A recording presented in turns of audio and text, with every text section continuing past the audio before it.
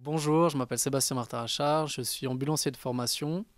Je gère maintenant le projet Save a Life et on va parler ensemble des différentes étapes pour réanimer une personne en arrêt cardio-respiratoire et utiliser un défibrillateur. Conseiller. Ne pas toucher la victime. Appuyez sur le bouton de choc clignotant.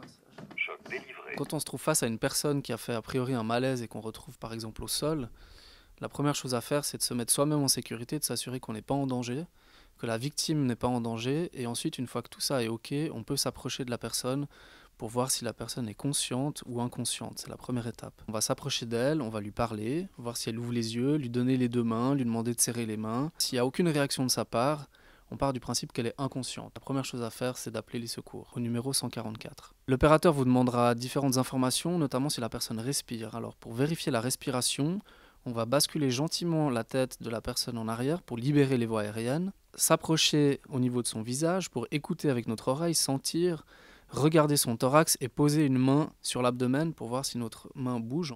Maintenant, dans le cas où la personne ne respire pas ou a une respiration agonale, la théorie c'est que la personne est en arrêt cardiaque, donc il faut commencer un massage cardiaque.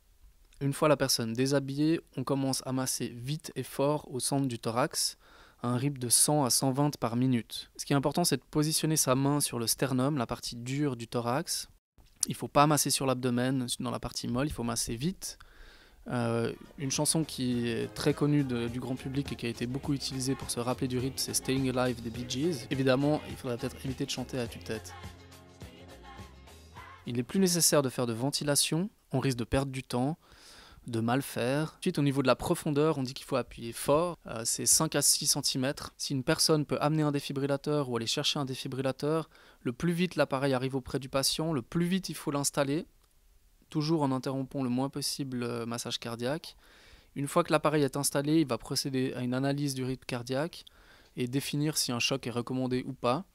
Ensuite, l'analyse est faite automatiquement toutes les deux minutes. Si un choc est recommandé, l'appareil vous le dira. Il faudra presser sur le bouton de choc. Vous allez choquer la personne. Il faut faire attention que personne ne touche le patient. Ne pas toucher la victime. Analyse en cours. Ne pas toucher la victime.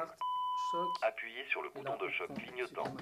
Choc délivré. Continuez ainsi de suite toutes les deux minutes jusqu'à l'arrivée des secours, jusqu'à ce que les secours prennent le relais du massage cardiaque, ou que la personne se réveille évidemment. Malheureusement, encore beaucoup de gens pensent qu'il est préférable de ne rien faire par peur de mal faire, alors qu'il est vraiment préférable de masser au centre du thorax, de défibriller si un défibrillateur est à disposition. Donc un mot d'ordre, passez à l'action, n'hésitez pas, il n'y a pas de danger, au contraire, vous risquez de sauver une vie.